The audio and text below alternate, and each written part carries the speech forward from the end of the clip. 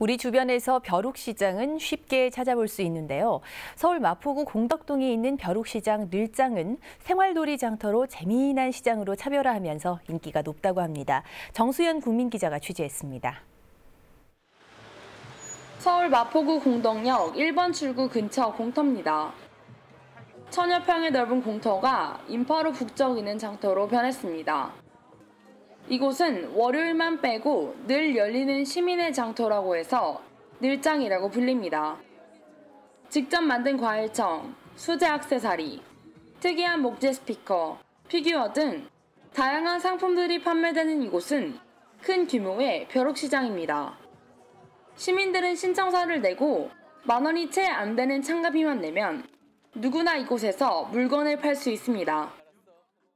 지난 2013년 7월 달에 처음 생기게 됐고요. 저희가 처음 생기게 되기는 여기 원래 경의선 해선 부지예요, 여기가. 원래는 경의선이 지나던 자리였는데 이 공간이 이제 비게 되면서 이 공간에 무엇을 할 것인가 그 주민들과 사회적 경제 단위들이 협의를 해서 여기 주민들이 적극적으로 참여할 수 있는 소통할 수 있는 그런 공간을 만들어 보자 해서 늘장이 생기게 되었습니다.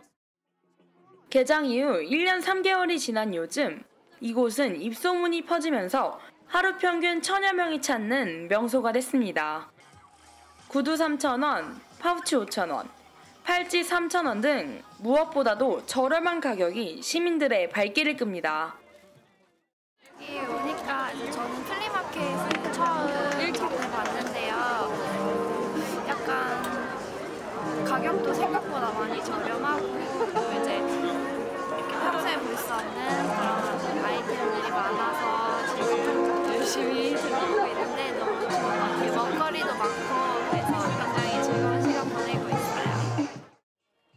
이곳에서는 물건을 팔러 나온 외국인들도 쉽게 만날 수 있습니다.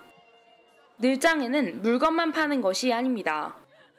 캐리커처를 그려주는 사람도 보입니다. 장터에는 살거리와 볼거리가 많아 둘러보는 시민들이나 파는 사람 모두 즐거운 표정들입니다. 엄마를 따라온 아이들도 트램펄린에서 뛰며 좋아합니다. 장터 한편에 위치하고 있는 그림책 미술관도 인기입니다. 시민들은 이곳에서 휴식을 취하며 자유롭게 책을 읽을 수 있습니다. 단순한 벼룩시장이 아닌 복합문화 공간으로 자리 잡은 늘장. 늘장은 마을 주민들과 시민들의 생활놀이 장터로 재미난 시장으로 인기를 더해가고 있습니다. 국민리포트 정수연입니다.